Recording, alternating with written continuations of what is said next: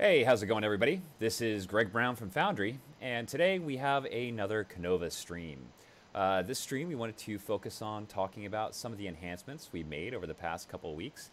Uh, Vilja Harvey, the person who is our primary developer for this, has been absolutely killing it and has a new release that's ready. And hopefully, we'll get that out to a broader public release uh, early next week. I'm really hoping we'll do that for Monday. Currently, we have it in uh, kind of a limited private beta uh, if it's something that you want to take a look at, then please, by all means, hop on over into Steam in the Kanova forums, and uh, I will see if a message pops up there. And if you desperately want to try out this uh, new beta early on, uh, we will definitely give you a key that allows you to do so because I am super excited about this. Um, we have made huge numbers of improvements.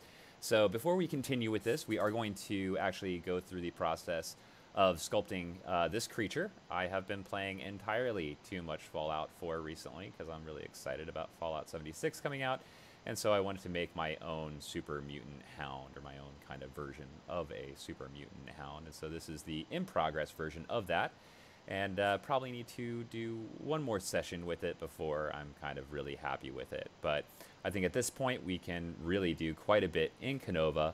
Um, for instance, this model has 1.7 million triangles um, in the generated mesh for it, which you can actually go ahead and uh, you know uh, see right down here. Oh, I'm sorry, there we go. 1.69, 1.7 million triangles, and it actually is only taking up 117 megabytes.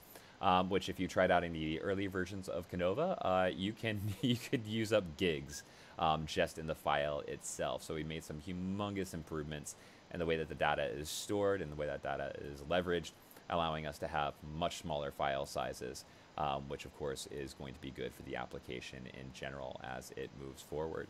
All right, so let me run through some of these new features. One of the big ones, this is a big, big, big deal, is we've added a new meshing algorithm. And so there are two new uh, uh algorithms called the enhanced surface nets and dual contouring, and the original meshing algorithm is called DF3D mesh. Um, DF3D mesh is the slowest and uses the most memory, but it does give the best quality mesh. So we're playing around with multiple different types of, uh, of uh, meshing algorithms.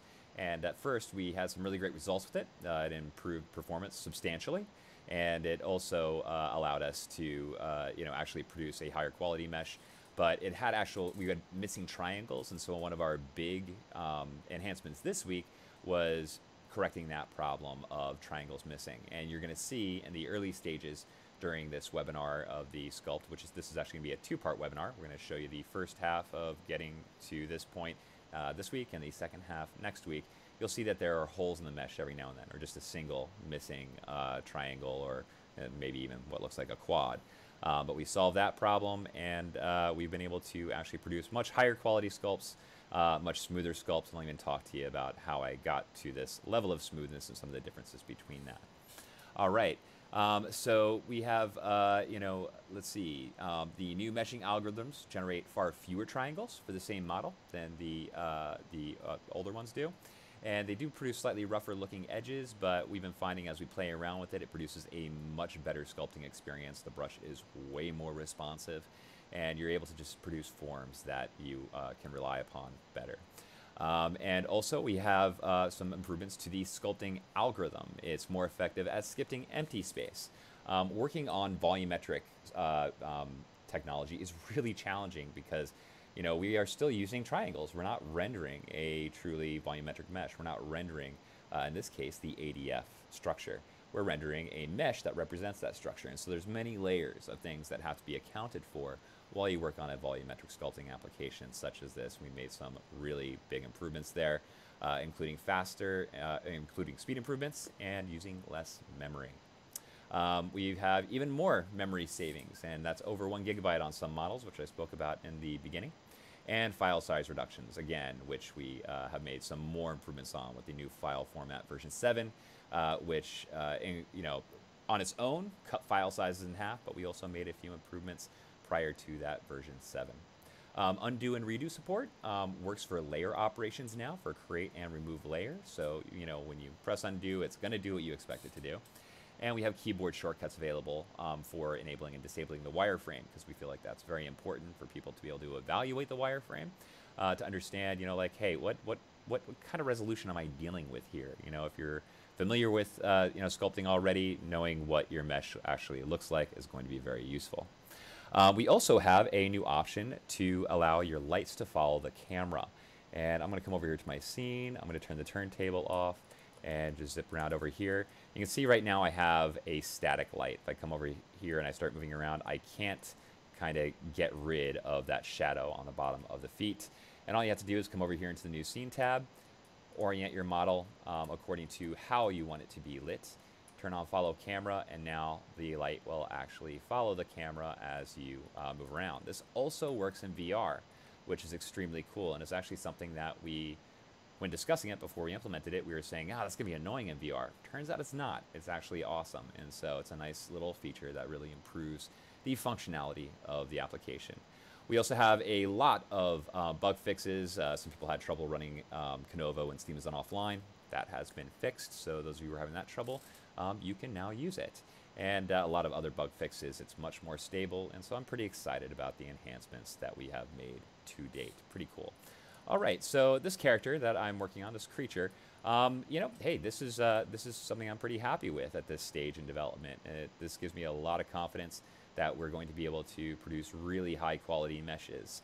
And uh, you know, the sculpting experience on this was very smooth.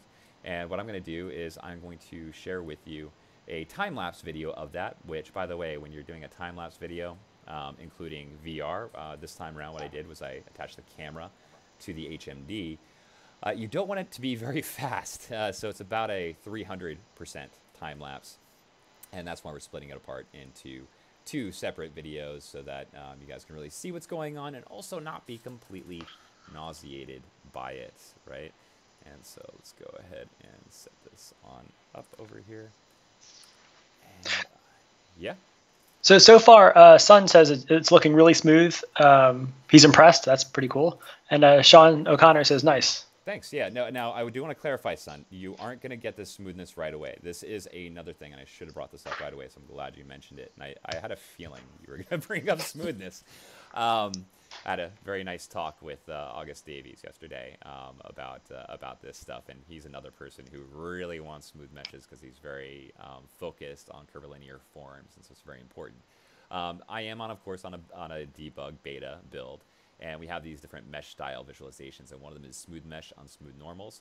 Um, and that's what I'm displaying right now. And you're not going to see things quite as beautifully and cleanly and clearly here. You'll see a little bit of terracing, but your experience and performance will be way better um, in this new version. And one of the things we're playing around with, um, there's some shading aspects I'm not really very happy with, with the unsmooth normals thing, but we're investigating uh, where those artifacts are coming from and how we can leverage that viewing mode because uh, it also gives a few performance enhancements too.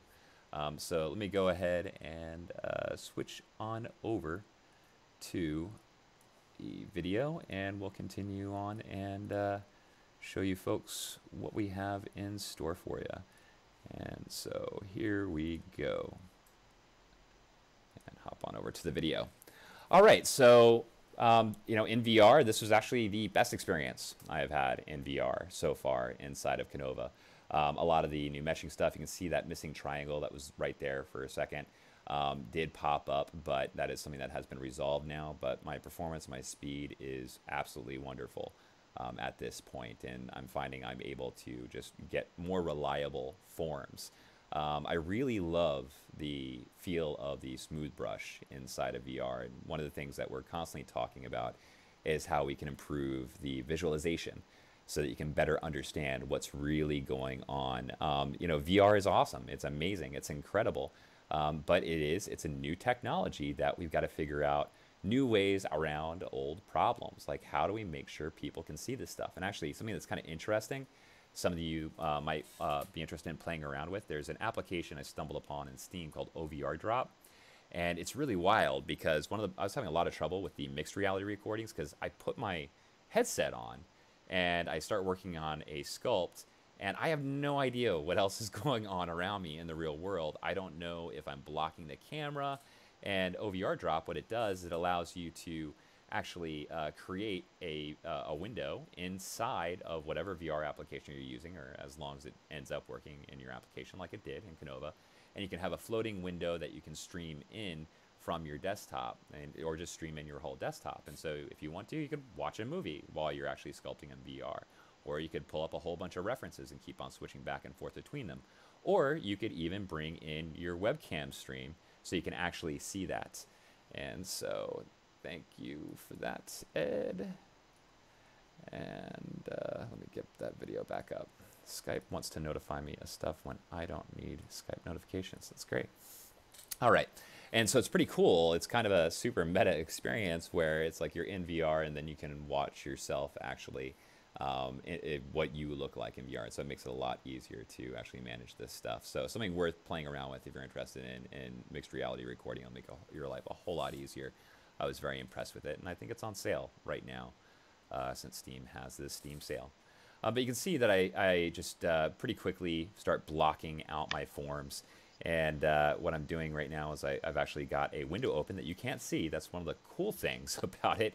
So if you have references that have questionable copyright qualities to them, um, you can actually have that window in there, and then nobody else um, in your recorded stream can actually see that. And I'm taking a look at various types of dog anatomy.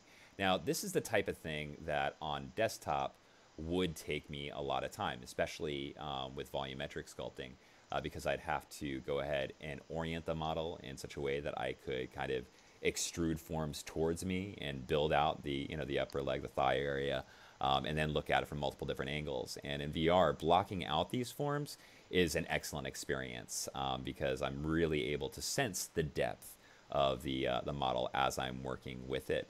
And making this like you know double hinged leg is uh, is made a whole lot easier this way. Now, I only spent um, about 40 minutes in VR on this one. I spent the vast majority of my time um, in the desktop side of things, and in total, I think I spent uh, about six hours or so. Um, but you know, being able to get these forms really roughed out quickly and easily in VR was very, very satisfying. It's super cool how you started, and it was almost like a flat, almost like the the central kind of uh, line of the um, of like the torso uh, and, and, the chest, and you almost did the same thing with the thigh before building up volume uh, to kind of give it give it thickness. Yeah, yeah, it, well, that's the thing. You know, this has a lot of a lot of potential. I think for you know quick concepting, like uh, you know some of the folks at GadgetBot um, who are, are, Modo users, they. Uh, uh, last year, were putting up a lot of interesting videos of them doing um, uh, gravity sketch concept sketching in there, and this technology has a lot of potential for sketching. I mean, you know, the first thing we used it in was Mischief, or where it came from was Mischief for sketching. And, uh, and so one of the things you can't see, because um, I have it displayed in VR, but not on the desktop, which is being captured, is you could turn on display of the of, of the actual um, mirror axis. And so I'm just I was just sketching along that mirror plane that I could see. And you know, I, I do think that is one of the better ways to to start roughing things out in VR is just sketch a, a, profile outline and then you know come at you know a three quarter or a front view and then start defining your outer boundaries of where you want to go. And uh, i think that is pretty pretty freaking cool. But um, the responsiveness at this point has gotten so good um, especially with this new meshing algorithm. And by the way the video right now as you see it does not use the unsmooth normals thing I told you about before, which you know produced a much smoother mesh. This is the the typical um, type of smoothing that we have applied. And it's kind of interesting the, the way that um, the mesh is generated. Uh, using that terminology, it's something that we talked about changing. And before we introduce you guys to more of it, um, or more of that stuff, we're going to have to change the naming because it's not actually it's not actually smoothing. It's kind of wild. It's more like we have they're like three-dimensional filters that are applied to the surface um, that actually produce you know smoothing, um, averaging, and also uh, sharpness, and the sharpness actually deforms the mesh. And so we're, we're, we're actually learning quite a bit about how we can manipulate um, volumetric forms in a way that feel that well it feels like it should. It feels like it's deforming the way you would expect it to, and so the experience is in, improving uh, consistently. It seems week by week, and so I'm pretty excited about where we're going. And uh, now with some of the, these enhancements, we're talking about some other very cool things that are coming. But yeah, you can see how with this video right now, it's like watching it um, with you guys. It's like I, there's no way I could have made this more than a 300% time lapse. I was talking to Ed like an hour ago, like, hey, do you think we should make this two streams or one? And uh, got back to me and you know was asking some questions. Like, now we're just yeah, we're just doing two because imagine this at 600% when this is at 300, uh, especially in VR. It's incredible how much your head moves. You know, it's uh, you just don't even notice it. And VR always seems for me to always articulate how freaking shaky I am, which sucks. But uh, it's it's amazing. You don't notice, you know, how frequently you're moving day to day. It just becomes part of the experience, and when you see it played back in this way, it's crazy.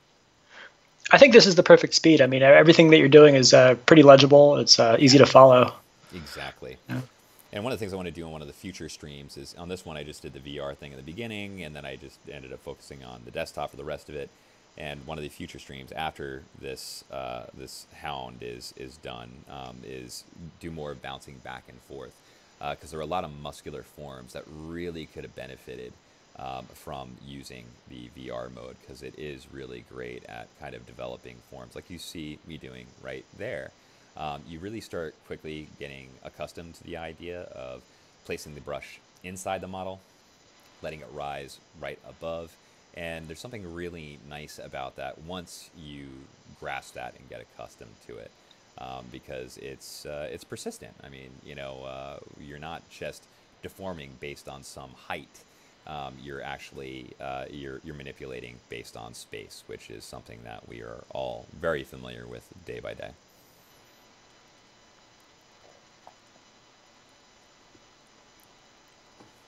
But yes, I love the smooth. It's incredible, especially in the VR side of things. So Ed, what have you been up to recently outside of the 3D world? Because I know that you know that's that's that's that is your life these days here at Foundry is spending a lot of time on Modo, and uh, 12.1 is kicking butt. There's an outside. There's an outside of 3D. Yeah. Yeah, I, uh, yeah. I, just, I just discovered it about two years ago. It's blowing my mind still. Honestly, it's sad, uh, but lately there for me there hasn't really been much much like extracurricular extracurricular stuff. It's all been uh, pretty much Modo. Really? Okay. yeah, basically, yeah. It's uh, I almost I almost broke down. There's been some uh, you know uh, watching people play Fortnite, and I'm like, oh, should I just should I just no, should I just buy it? Fortnite. You should never. I know. You should never. I know. I'm Fortnite. I'm resisting. I'm because I know it'll just it'll just be a disaster for me. I'll just... Well, actually, I tried. I did try to, and uh, I, I, forgot who who was, was Warren Marshall brought it up. I think he brought up Fortnite, and I was like, oh, okay, so somebody else who isn't like 12 is playing it, so maybe I'll give it a shot. And, uh, it was it was it was a humiliating experience. it's like all of a sudden there's these people building these giant towers all around you, and you're like, what are they? How are they doing that? I don't want to learn. how to do that, and uh, and then you hear about all these stories about um, kids taking down networks in their high schools oh, because uh, so many people are playing it. It's like I thought I thought we were collecting kids' phones at schools. but yeah. Yeah, but I mean, it just it looks it looks like so much fun, and you know, I love the style. But uh, yeah, all, basically all my free time is just uh, it, if I'm not working, I'm just still just using Modo just for personal stuff. Just you know, just trying to create art. Yeah. That's the way to do it, man. It is, but you got to get out and have a good time. Sure. Oh yeah, for sure. anything uh, for? Oh, it's okay. So you also you see right now. Um, this is something important to understand about working in VR with the volumetric meshes, um, because uh, say you have a limb coming off of a torso, similarly to here. Um, the of course you're always joining a portion of the mesh, um, one portion to another, and when you smooth, um, it kind of blends those together more. And so oftentimes you need to carve out a space, smooth that out, and build that negative space between a limb and a torso. And so, you know, pushing in a sharp crease isn't going to quite result um, in the look that you want. You, I, I, think you're best off just carving that whole area out and then rebuilding it. And uh, I'm pretty happy with the the structure um, at this point that I was I was producing. I was actually kind of surprised. It was going pretty smoothly, pretty quickly, and I was pretty happy. But you can see the couple missing triangles right there. They just disappear it was one of these things where um, Vil is a total perfectionist. He's a brilliant, brilliant programmer, and you know he was saying like, oh, you know, I, I don't want to release this until I've got the triangle thing um, worked out. And uh, you know, Shane and I are like, no, don't worry about it. No, it just it's the experience is so much better. So just go for it. Uh, but then, of course, he solved the problem um, before the end of this week, and so we'll see it with with both issues um, solved. But uh, yeah, it's pretty cool. And that's just really like a little visual thing. It's, it doesn't really affect the uh, like the sculpting too much because it disappears when you kind of roll over it again, right? I mean, it doesn't matter just because anybody yeah. trying out this application uh, from this point forward is not going to see it even. But when right. I was recording those portions, it is still there. Uh, so I do feel a need to uh, definitely articulate that. But yeah, I wanted to make this thing a little bit different, like the uh, than the um, the super mutant hound in Fallout 4, but very similar. And I just I just got my own uh, super mutant hound. Her name is Gracie. She patrols Sanctuary Hills for me, and I don't know why, but when she walks, she sounds like she's like 10,000 pounds. It's ridiculous. Like it's it's awesome though. But yeah, I've got this green mutant dog wandering around my settlement, which uh, Fallout 4 is a bad game for anybody who's a 3D artist to play because you can build settlements, and that becomes something that is very obsess- obsessive very quickly. All right, so I switched over to um, the desktop mode at this point. I was pretty happy with the forms that you know blocked out, and at this point, I just want to start you know going through and refining these forms on the on the desktop side of things. And uh, I think I probably was pulling up a whole bunch of references at this point, and there we go, ready to continue on with this process. And I'm playing around quite a bit right now with brush strength, and I'm also even playing around with um, the INI file, the preferences INI file behind the scenes, um, because you can actually change the LUT, which the LUT controls the range of strength or the um, the actual range for the radius, and so you can actually modify how Kanova behaves quite a bit in that file. And so playing around a lot with, okay, what gives me exactly the feel that I want? And I'm still not there yet as far as like, okay, um, you know, this is exactly how I want it to feel, but it's getting so, so, so close. And so, unfortunately, um, you're gonna you're gonna see me working with very soft brushes quite a lot, which I irritatingly do so um, in other applications as well. But um, on this model, I was no, it, it, was almost frustrating to me how often I was doing it because I was having to tell myself like, no, you just need to lighten up on that just a little bit. So there we go, pulling up a a reference which showed up there for a second. Uh, got a, uh, a 21 by 9 monitor, uh, I guess about two years ago, and it's absolutely wonderful. You know, the wide, ultra widescreen monitors because you can have your application open um, at the scale it would use, or the proportions it would usually be on a 16 by 9 monitor, but then still have like 30% of space left over just to throw up a whole bunch of references and uh, love the ultra widescreen monitors. Hope they take over. And Netflix just started supporting them, actually. So you can actually watch cinematic films with no borders, which that excites me. Maybe I'm just that guy. now, Greg, um, I know that we were talking about like a method where you sculpt everything in one layer and then you you kind of like break it apart. Like in, in this case, you might do that with the, the limbs or the, the creature's head. Did you do that for this one? I did or? not do that at all for this one yet. Um, yeah, I may later on. You know, um, it, it, that is, I think for a biped, it's even more important. This this this creature, I mean, he doesn't even have a neck. Um, really, you know, I kind of wanted to make him look like he had a fused spine and his, his head was fused to his torso, kind of just a, a tank of an animal. Um, but uh, yeah, that is a workflow that is useful, especially for bipeds with long limbs and long branching limbs into fingers and stuff like that. Like very, very helpful. Um, and I think as we add more features in the future that I really shouldn't talk about, that's going to become even more advantageous for other reasons. You know, like uh, we have talked a little bit about um, various types of booleans. That would be massively useful um, uh, at that point, especially if you could split it apart into multiple different layers and work on those different layers separately or independently, um, you know, improving performance, but also just letting you kind of focus on one area, but then be able to merge them back together uh, towards the end. Because interestingly, that's something that I've been doing for sculpting workflows and other applications. Uh, not the whole splitting apart thing, but working in segments. Um, I actually got a, a Modo uh, assembly that was supposed to be a character creation kit that leverage mesh fusion, then I need to go back to that at some point and keep on working on it because I think uh, some of the stuff we added in in 12.1, some of the procedural stuff would make it more possible.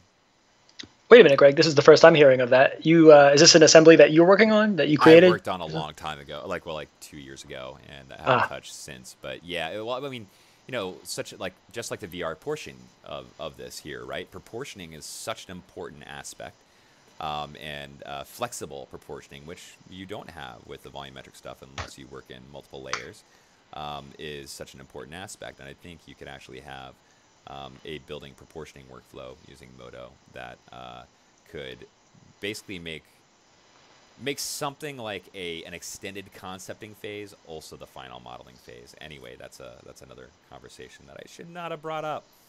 uh, but uh, yeah, who knows? Maybe you guys will see that at some point. Um, I wanted to incorporate that idea with Kanova a little bit in the future because uh, I think it would actually it would make for a completely killer workflow with uh, in, in, conjunction with Kanova.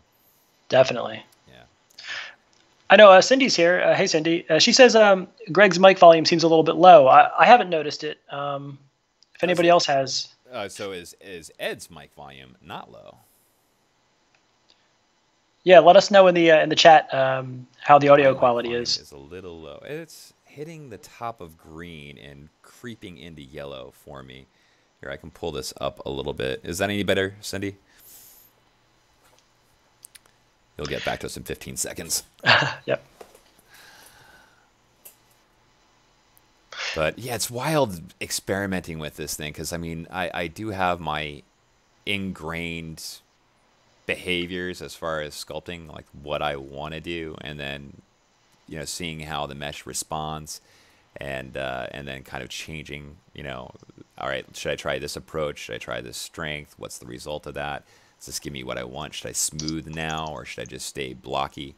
Um, but also, right now, um, at this stage, I still am not in this unsmooth normals, uh, you know, thing that I, I showed you guys in the very beginning that you know helped me get this super super clean smooth mesh. Um, so anyway, there is uh, um, this is still uh, um, still at a point where I find aspects of it, you know, kind of a little bit frustrating, but the experience is really, really good at this point. And by the way, at SIGGRAPH this year, um, we're having a pretty awesome Modo event. Um, don't want to necessarily announce the lineup because I don't know if we've really announced the lineup yet. Um, but definitely tune in for that. Um, if you're at SIGGRAPH, definitely stop by and check that out. And we'll also be talking about Kanova, and I'm hoping we'll be able to show you guys some super cool stuff at that point um, regarding Kanova. Yeah, definitely looking forward to that. Can't wait to uh, can't wait to hopefully hopefully uh, meet some of you guys there. That'll be fun. Oh, so you're gonna be there, Ed? Oh yeah, yeah. Awesome. I just uh, just got news that I'll be I'll be going. That's great. That's fun. Uh, yeah, Sun asked. Uh, oh, sorry, sorry, Greg. Go ahead. No, please, no, no, no. The, the, what you're saying. I was just going to mention um, about uh, Sun said volumetric rigging and posing would make this much easier in the future. I think he was referring to uh, just uh, you know separating the limbs out and uh, you know I guess just posing. There's you know yeah I mean the way it's set up right now um, you know you can parent items to each other and uh, and so yeah there's there I, I I'm pretty sure that if if you were playing around with it uh, Sun you would definitely immediately see the direction that's going. Um, it is something that we kind of were accounting for now. Deformation with rigging, you know, uh, that goes into another realm of scary, scary technology. Uh, but yeah, if you were splitting apart a mesh into multiple separate individual elements, but then able to transform an entire leg from you know the actual hip um, and uh, have everything follow along, and then move down to the you know the knee, and then you know just rotate that just ever so slightly. Yeah, totally, hugely helpful, and it's actually another thing that in VR is is phenomenal actually because you uh, it's so easy to transform or rotate things um, like that. So yeah, it's one of the things that we're thinking about. Um, it's very hot on our minds. Um, this technology has a lot of potential, and right now we're trying to, you know, make this as solid of a sculpting experience as possible. Which, by the way, is such a hard thing to uh, focus on, just because there's so many other cool things that we can and want to do with it. Um, but we're trying to be responsible about this and really say like, no, no, no, let's let's get the sculpting experience, the sculpting feel, the performance up there, and then we'll have you know a base on which that we can expand as something that is really practical and really useful.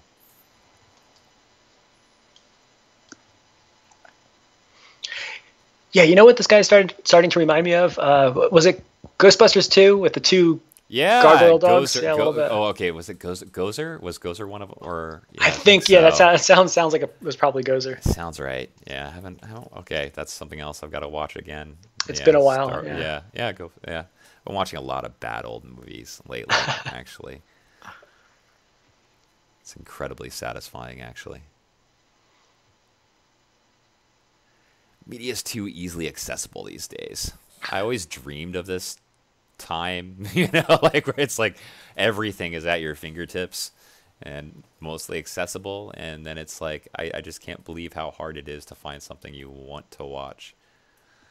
It's like what this week on Netflix, like Glow came out, which by the way, if you haven't watched Glow, watch it. It's freaking awesome. Um, That's the pro wrestling yeah, one? it's the, female. pro- yeah, I remember. Like I remember seeing that on like Sunday, like Sunday mornings at like eleven thirty. It was like one of those shows they put on on like at like church time because nobody would be watching TV, and uh, it was awful. It was terrible, you know. But this is a dramatization of of them creating that show, and it's it's hilarious. Uh, and then of course the new Luke Cage, I think, came out just during the past week. Ah, right. Yeah, I think um, I think Greg, I think that's Greg from Pixel Fondue says uh, the the dogs were the terror dogs. The Gozer the Gozerian was the uh, was the demon. Ah, Uh, all right. And then and uh, that was Ghostbusters one. It wasn't it wasn't Ghostbusters two. That's right. You know, you know, Greg. The next time you next time you bring up something along those lines and a correction, just please first start off with actually. Yeah. now because I, I just I just think that's the, the right way to start that off. yeah, yeah, it's impossible to miss that that uh, uh, that connection. I mean, it's it's a big, beefy dog creature that sorta is based on Pitbull anatomy, kinda ish.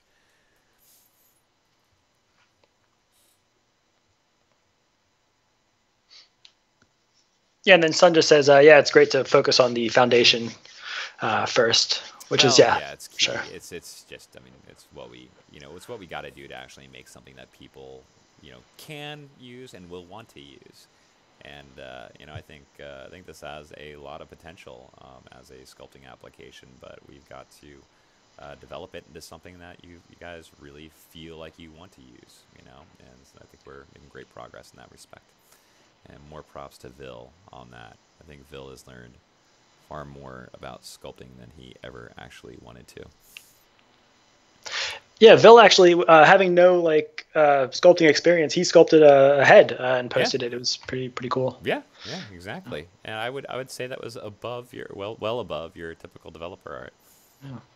And Lukash was working on this with us for a while, and Lukash, uh, I remember he's asked me to do models for him before, um, for ACS kit and stuff like that, and he's always very self-deprecating uh, about like, oh, I can't model anything. Can you can you be one of your characters? And uh, and it's like when he worked on this, we all found out that that wasn't true.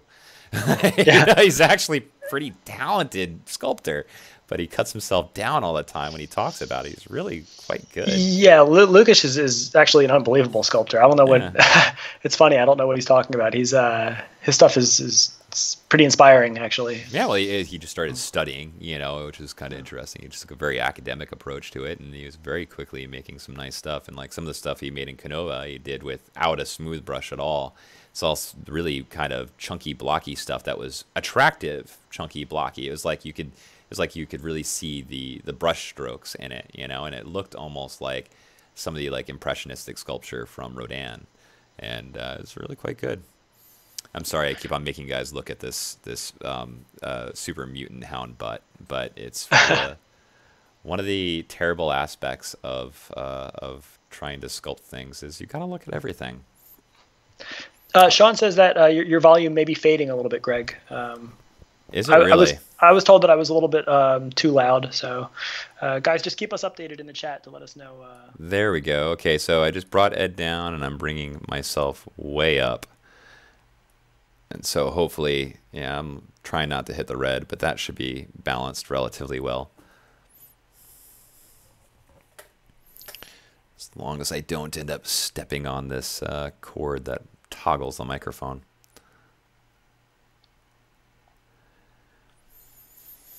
No, I've gotten so, it. Hmm? I was just gonna say, um, so your reference. I'm assuming that you you picked like uh, like bulldog reference, like very stocky, stocky type of dog. Lots of pit bulls. Um, I, I, you know, I also of course looked at um, a lot of references uh, for the the super mutant hound from uh, from Fallout 4. I even extracted a model from Fallout 4 because you have this thing called NifSkope that allows you to extract files from Fallout 4, so you can actually look at the model, which is really helpful. Oh, very um, cool. Yeah, no, it's awesome. And uh, you know, go ahead and assign your your your textures, and you can take a look at it shaded in Modo um, which I mean, really wish uh, that was more common than it is. I mean, looking at true 3D reference, but yeah, lots of lots of pit bulls, um, some Rottweilers, stuff like that. Very muscular animals, and then also just uh, and like just uh, dog anatomy, things of that sort.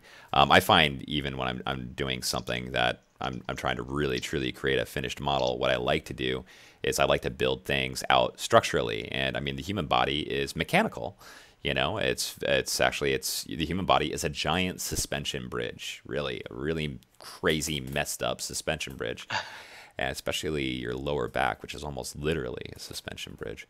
Um, but I like to build things out structurally, even if you have a character that isn't necessarily very muscular. You build out their musculature first, and then you go in on top and uh, and start blending and smoothing that, basically simulating adding the layers of fat and the distribution of fat. And uh, if you do it well, where you use broad strokes, which I don't really always do here, um, you can even get some of the muscle striations that would, you know, possibly appear through um, the skin to show up. And so it's a it's a very um, I think a practical way of working and something else I've been playing around with in Kanova is doing this muscular sculpt and then having another layer on top of that where I go in and actually start laying the skin on top of that in a second separate layer. And uh, I think it's, a, it's something that has a lot of potential workflow wise, but currently is a bit of a challenge. Yeah, that's cool. Just because it's almost like working on an écorché kind of. Yep, uh, that's exactly it. I mean, there's a reason why those always look so good. you know, it's like I mean, it would be pretty. It wouldn't even be all that crazy to talk about. And this is not a feature, but you know, even using those. Well, I think at one point they used eraser nubs, and they don't necessarily need any more. But you know, defining the thickness across different areas of, of, of a surface. You know, like how how thick would the, uh, um, the the cellulite and the skin actually be in this area versus the muscle that's going to appear underneath it. So wait, how would they use eraser nubs? Like, uh, but how I don't get the connection. Like uh, oh, uh, to define height off of a surface. Oh, okay. Oh, so almost like those little pegs that you see, like when they do forensic reconstruction. Yep. Of, uh, okay, got it. Yep, exactly. And cool. so, because I mean, you know, they're underneath the eye, that's going to be pretty shallow, you know, really, um, for the most part. But uh, around the midsection, it's probably going to be pretty thick, you know. Um, but you you use that as guides over the surface for, you know, what is what is the thickness of flesh in these various areas. Uh, it looks like Sean says that I uh, I've gotten a little bit low again. Um, okay, well we think, will get this on up. Yeah, I think it's it's it's more important that your uh, your volume is. Uh, no, it's not. You're talking. Above. Oh, yeah, you're you're you're just too nice, Ed. Uh. Don't worry. If you meet Ed at SIGGRAPH, we'll make sure that he's worked so hard that he's super mean. I don't think it's possible, but anyway. I think we've got a pretty good SIGGRAPH coming up this year, though. The lineup that I've been hearing so far that I will not share because I really don't know how much Jen, who has been working on it so hard, because Jen's amazing. Yeah, Jen, Jen Goldfinch, you're incredible. Oh yeah, Jen's great. Yeah. yeah um, I don't want to blow up her spot, but she's put together an incredible SIGGRAPH this year. Um, if you guys aren't there, uh, you should definitely tune in to some of the live stuff we do. Uh, it's going to be worth your while um, just for the just for geeking out, general geeking out, because there's some pretty cool presentations that are going to be happening. Yeah, and if you uh, follow us on our, our Foundry page, uh, Foundry Modo is the name of our uh, Modo uh, centric page. I'll definitely be doing some Facebook Live streaming just for little little things to show you guys like what's going on at SIGGRAPH. Cool, very very cool. Now, Greg, I noticed some like some long kind of striations, kind of um, like some concave striations. Are they just kind of like demarcations to let you know like where you're going to, like right along the the sternum there of the uh, of the chest. Uh, you mean right down the center that I was doing? Exactly. I was just yeah. separating the pectorals. I mean, if you notice, like on on on you know a, a, short hair like dog, like something like a pit bull that's really beefy, they have pecs. You know, yeah, yeah. Um, they look more like a chicken breast. Um, you know, as far as the the shape and form, but yeah, they're pecs, and uh, and so yeah, just starting to try and define you know the the superficial musculature um, that will help make this look a little bit better. And see, like this is one of these areas where especially looking at it after the fact and even as I was working on it, I was thinking like, you know, this is one of those areas where throwing on the headset really quickly and kind of refining these voluminous forms that make up the uh, make up musculature uh, would be very helpful. Like I had a um, a sculpture teacher that I disagree with her on this. She's right from an educational standpoint because it sets the right mindset, but it's not always true. Um, but it, it is largely true. Is there is no such thing as concave forms on the human body. That's, I've heard that too. That's not that too. that's not actually true. I, I disagree with it. You can produce concave forms on, on the human body, but what it means is you have a whole lot of connected convex forms. And so your concave forms um, are a result of connected convex forms. And so it's one of these things that, like, my opinion, like when I heard her say that, I, I like I kind of got into a little debate about it with her, which was did not help me. Um, but uh, you know, then she had to re-clarify again. It's it's a good principle to consider, you know, um, because it does make you look at musculature as voluminous. And like I remember, like I've gone into a lot of um, classes that you know that teach sculpture that you look at the student's artwork and it's oftentimes very orthographic looking, you know, where uh, if that doesn't make sense to you, it's looking at things without any sort of perspective distortion from front, left, and top or bottom or whatever. And you can see the rigidity of these orthographic views because people have trouble working in perspective a lot of times. Um, but then also the musculature was like you see right now, where I'm just cutting in a line, and a lot of times people will just cut in a definition line and they don't build up the volume of the musculature. And even if that's isn't there on your actual, you know, real world reference, or say you're, you're creating something that truly um, is, is, a real object, you're better off building up that volume and then reducing it because even if um, that volume is very subtle, uh, it's there. You know, there are these the there's definition between the different muscle groups, and so it's a good it's a good thing to think about um, as far as what you're doing with organic sculpture. Um, thinking about everything being convex, but you can remind yourself it's not necessarily true. It's just so funny. I, I, that you're only the second person who ever brought that up, but uh, the, the first person was a sculpting instructor that I had, and uh, I, to me it was always a little bit strange too. Like I understand it, but it just feels like there there are certain points that are you know concave. I know that they are just the kind of the meeting points of the convex areas, but you know. Yeah, I, I just think it, it helps you think about it. Like if, if you look at a lot of the really great kind of stylized anatomy that's out there that you can learn from, it's highly convex, right? You know, mm-hmm. um, if you if you look at you know anatomy with uh, with um, basically all all the cellulite and skin stripped off, it's almost totally convex. You know, like uh, it's it's one of these things that it's it's a it's a partial truth. It's like it's like telling kids in second grade there's no zero, or zero is not a, or zero is like not a number, you know, like and then telling them you know a couple years later, no, well, this actually it is, you know, it's like it's just something to try and get you thinking the right way about it, I suppose.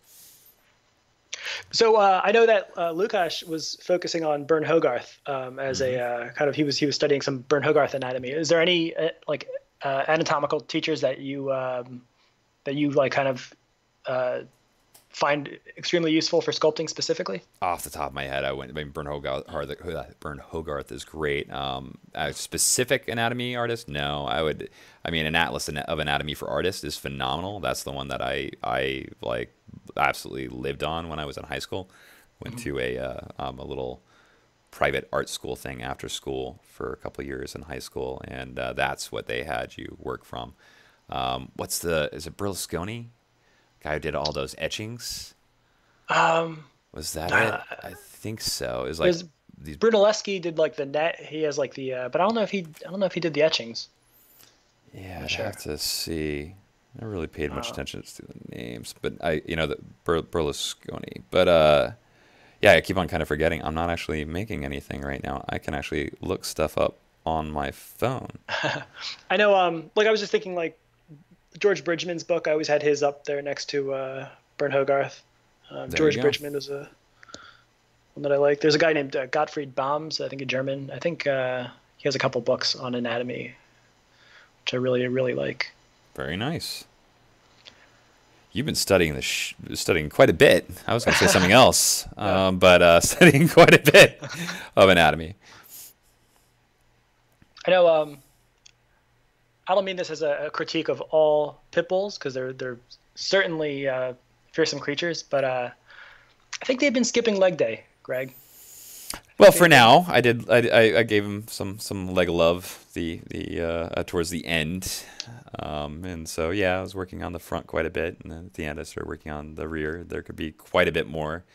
Um, his glutes could use quite a lot more definition um, later on down the line. Uh, so if I come over here, and then I switch on over to Kanova, you can see he's got much more definition um, at a later stage.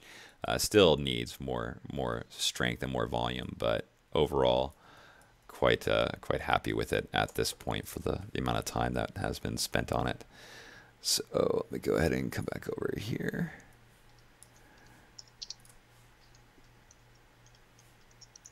And run this. There we go. Oh, yeah, that looks great. Oh, that's right. I, I always forget that it takes like 10, 15 seconds for, uh, for you to see what's going on. We need to live in the same city, Ed. yeah. I, I yeah, highly Austin recommend Austin. Awesome. It is. It's wonderful. Yeah. I've been going to a place called Barton Springs quite a lot, um, which is a uh, natural spring here that they basically dammed it up and made it a three acre swimming pool. Allegedly, Robert Redford learned how to swim in Barton Springs and they've got a diving board there, and then it empties out into this river, and uh, like they got all sorts of dangerous things like rope swings and like trees that have fallen over that people are doing all sorts of crazy stuff into the river on. It's lots of fun. This is a great city.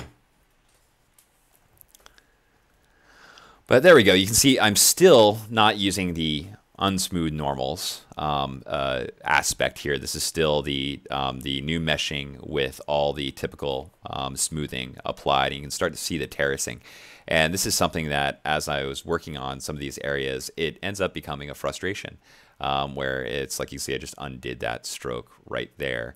Um, it's something where it's like, all right, you know, I really want to be able to get definition. And by turning on the unsmooth normals mode, which we'll we'll uh, try and get something like that out to you guys once we're really happy with it. Um, I was able to have a more predictable experience and get forms that I was I'm more comfortable with. I'm expecting by the time we uh, we hit SIGGRAPH, I'll start to be able to produce some things that I might really really want to go and retopo and start building to building into uh, final assets. Um, but man, the the work that um, Villa's done as far as reducing uh, file size, for instance, that is just absolutely huge because it's you know I remember actually I was looking on um, Slashdot uh, years ago, and there was some conversation about 3D, and this person chimed in who clearly knew nothing about it uh, because they were talking about how 3D data um, is basically like uh, just laying out every point in space within a certain boundary. And it's like, no, no, no, no, no. You know, it's like as far as modeling in Modo or whatever, you've got this shell. We're not we're not, you know, defining, you know, all the points inside that at a certain resolution. That's voxels. You know, in this case, that's what you're doing. You know, you got all this stuff inside that's being um, defined and then a shell built around that. Um, so the data itself is just so heavy, and for for Vil to have gotten, you know, um, in the case of this model, uh, the the mesh itself being 1.7 million polys, uh, for him to get that down to 117 megabytes, um, without any sort of compression, like uh, like zipping the files or whatever. Man, that's that's impressive. Yeah, that's huge. I yeah. uh, prior to prior to this update, I was making some some files that were just they were so huge it was uh it would take so long to load. Yeah, oh, I broke it. You know, uh, it's at first it, it, it was there was some kind of hard coded limit in there that it just wouldn't read a file over 2.5 gigabytes, and I had to be like, "Hey, Phil, what happened here?" And he's like, "Oh, okay, yeah, I'll turn that off." And like, it's like I had some files that were like four gigabytes and stuff, and uh, those files now um, are like down around like anywhere between like 500 to 700 megabytes. Uh, but those are like you know meshes that ended up being about four million triangles. And so, um, yeah, it's uh, it's uh, we've been waiting for volumetric um, uh, technology to be more practical for quite a long time. Like I remember, what was it like, 1997 or 98? I was like reading an article about like uh, Quake 3. I was loved Quake 3, and there's all there were all these rumors about id's new engine that Carmack was working on. It was called like the Trinity engine. It sounded so cool and he wanted to pursue voxels, and it never materialized, you know. And uh, it's it's something that people have been trying to make practical for a really long time, but um, the amount of data that's that's needed for that is just so freaking tremendous. I think we're just finally getting to a point where our systems have enough storage and bandwidth um, to be able to cope with it.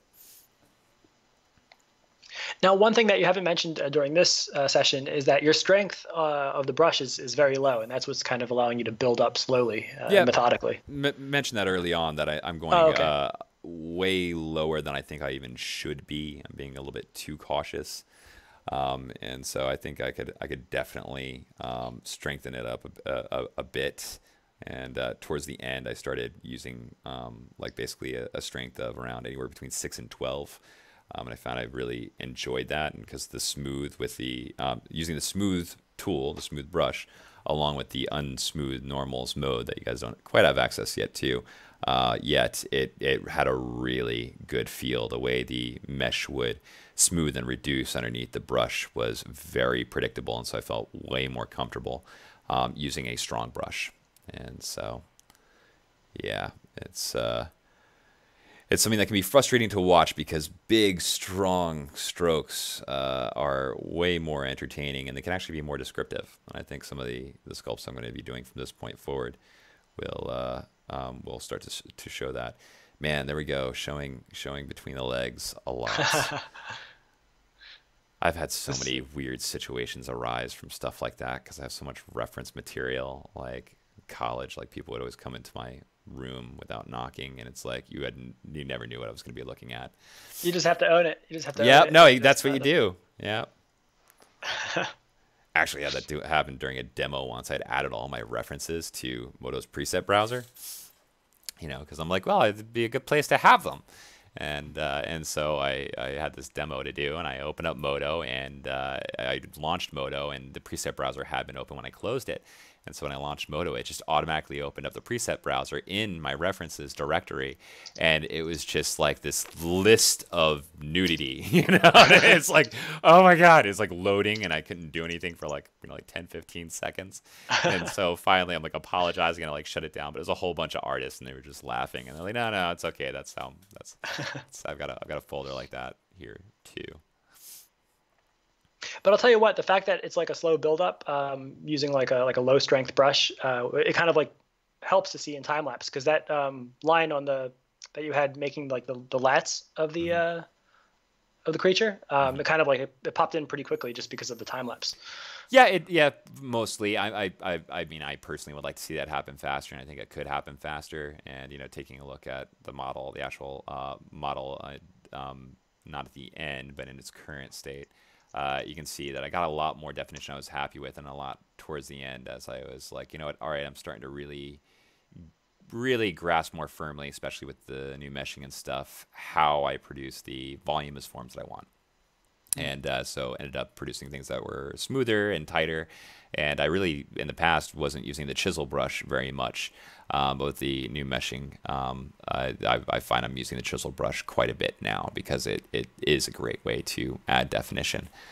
So, yeah, it's, uh, it's something that I am feeling very confident about as far as uh, this becoming a very practical tool for people, um, you know, in the short term. It's becoming uh, something that I, I really enjoy using. Definitely. Yeah. Now, but, Greg, it also looks like um, it, Is this a special mat cap? Because it looks like there's a little bit of subsurface, or maybe like it is. It you like know what? I'll I'll I'll share that on the uh, um on on the Steam forums. It's it's very basic. You can actually just drop it into a folder, and then it becomes an option. And uh, yeah, it's a it's a fake subsurface scatter um, shader that is kind of based on a way of doing fake subsurface in Modo's Advanced Viewport uh, using gradients because gradients do work in Modo's Advanced Viewport and uh, it does give you a little bit better sense of the of the structure. You can see like right at this point, I'm I'm I'm building up like lots of um, nodules, I guess you know, lots of bumps instead of lots of big strokes. And uh, i was finding towards the end, I was loosening up quite a bit on those, and you guys will will see that portion of the sculpt uh, next week, and taking it to the point I showed in the beginning of this webinar, and I will show uh, again at the end of this webinar. But yeah, we got to make sure people can really, really see what they're doing. That's probably the most important thing.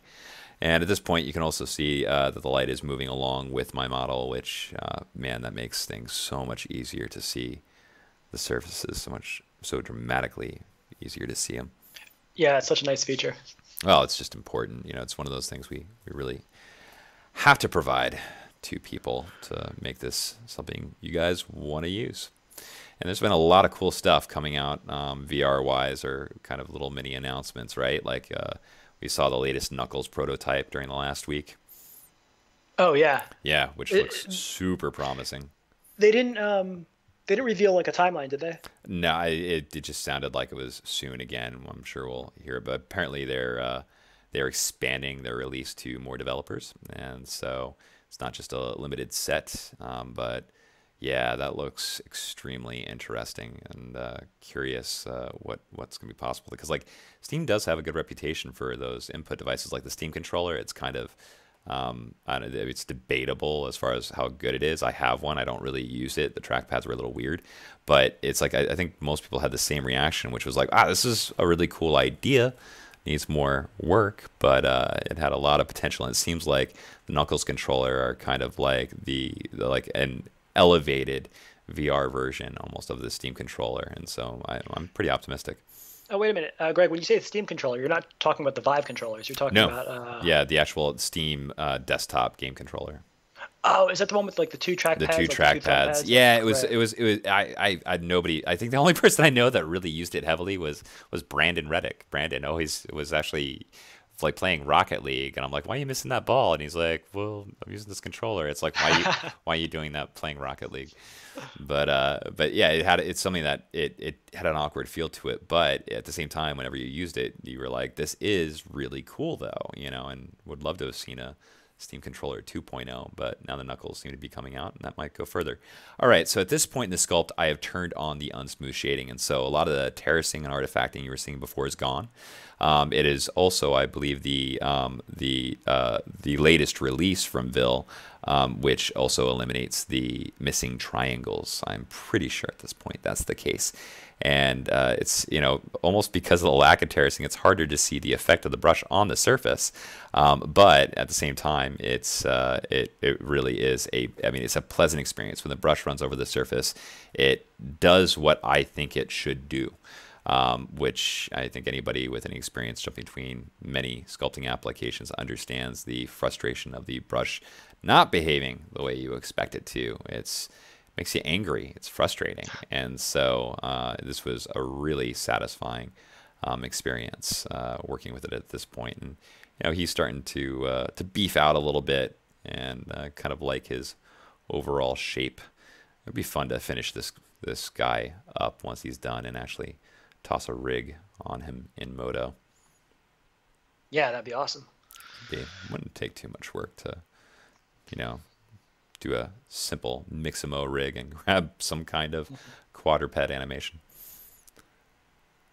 I love the scapulas. How uh, you know quadrupedal scapulas tend to be like uh, upright as opposed They're to ours. weird. They are. They're so weird. My scapulas are kind of like that. I have a I have a mutation. It's my mutant power. I can I can I can, I can uh, push my my uh, my scapula's Oh, out. The, yeah. the point you can point the, the bottom point. You can. I've seen two people Yeah. do that before. Yeah, that's that's yeah, crazy. It it's kinda, creepy. It is. Yeah. That's cool. You have to find some like uh, practical application. There is that. there is no practical application at all for it. You know, it's it's it's completely useless and problematic. I'm pretty sure. Actually, I've had shoulder problems most of my life. Oh yeah.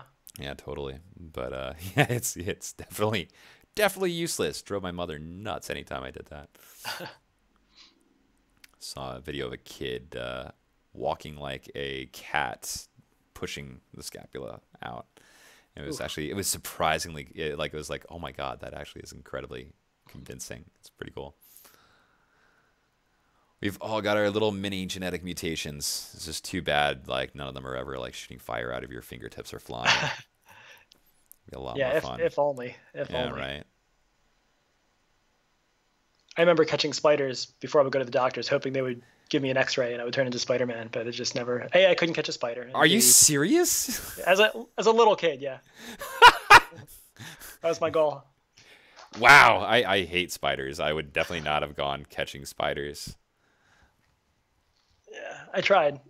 All right, that's cool. yeah, I mean, I'm glad you didn't like try and irradiate them yourself first. That would have that would even be more disturbing.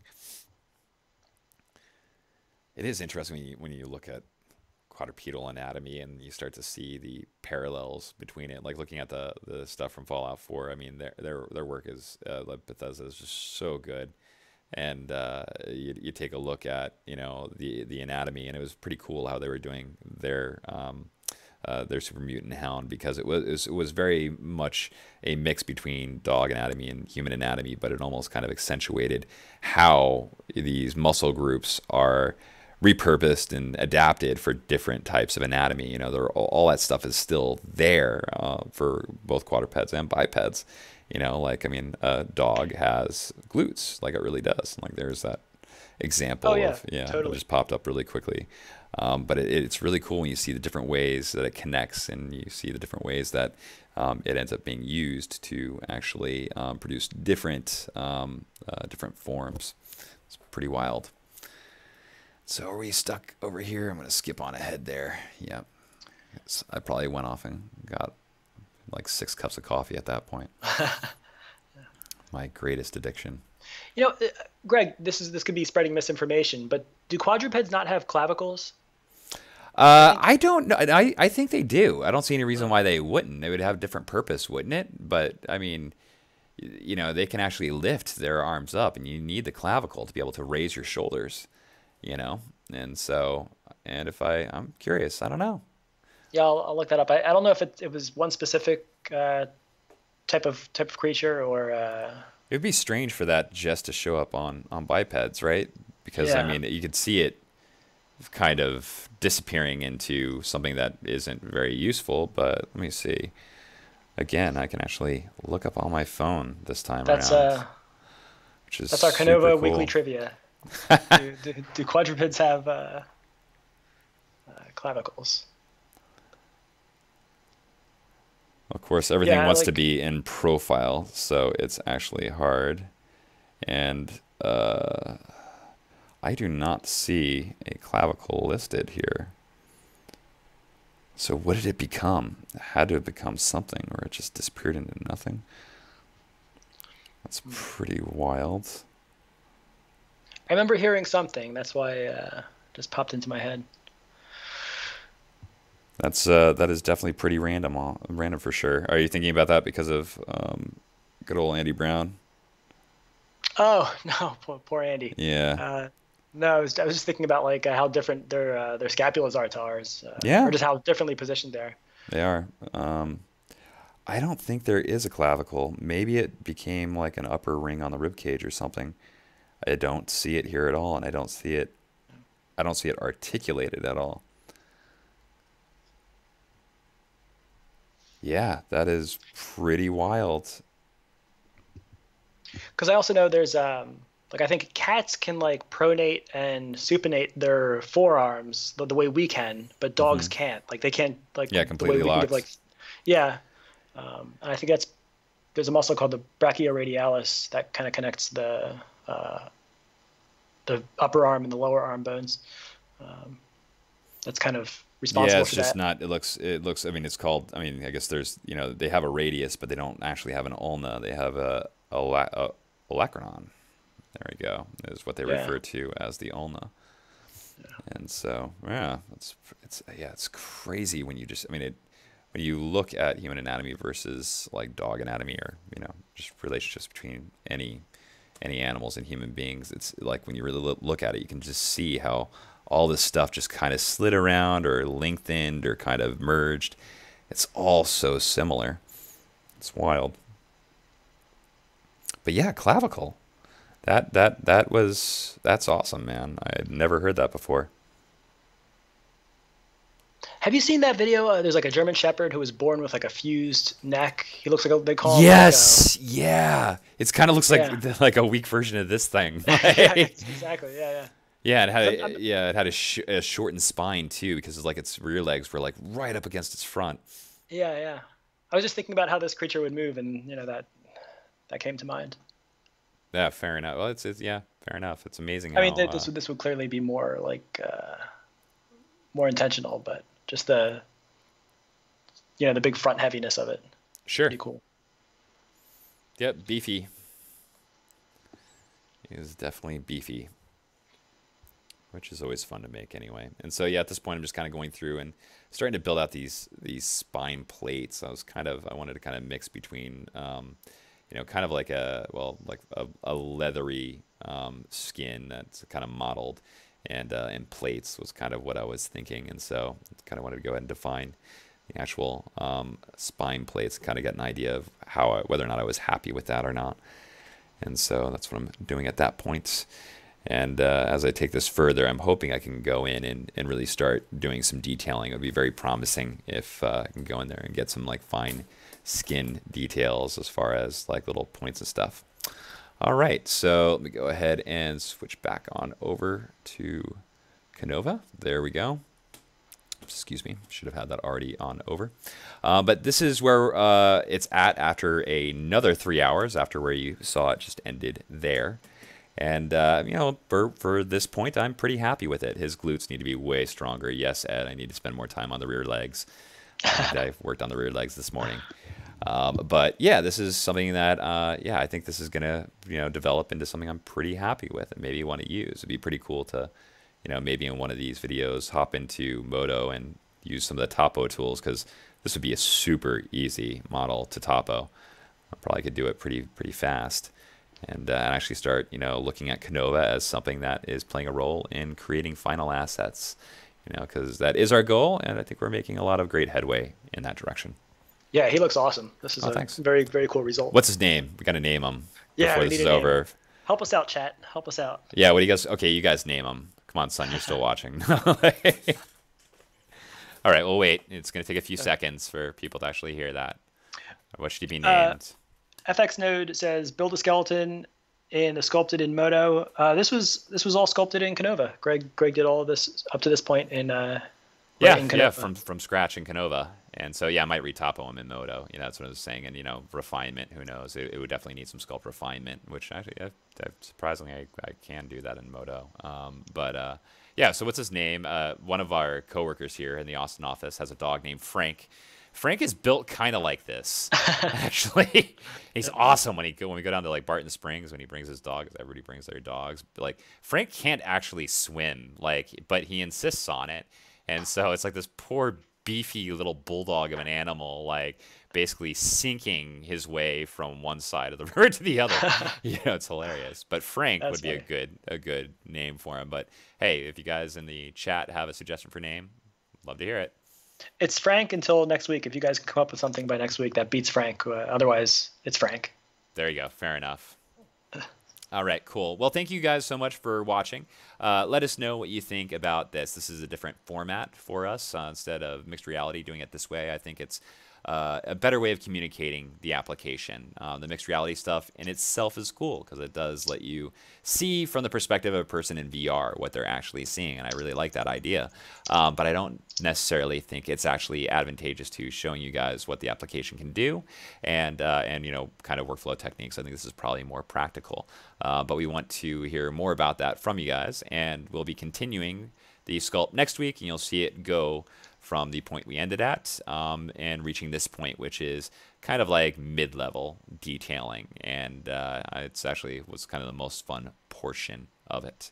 So same time next week we will continue this and. Uh, you know, hopefully after a couple weeks, uh, actually have a final asset to talk about and show off. So thanks so much for joining us. Hop on Steam, and uh, if you want to try out these features in beta, just go ahead and message me or put up a posting in our discussion forums, and I'll, I'll set you up.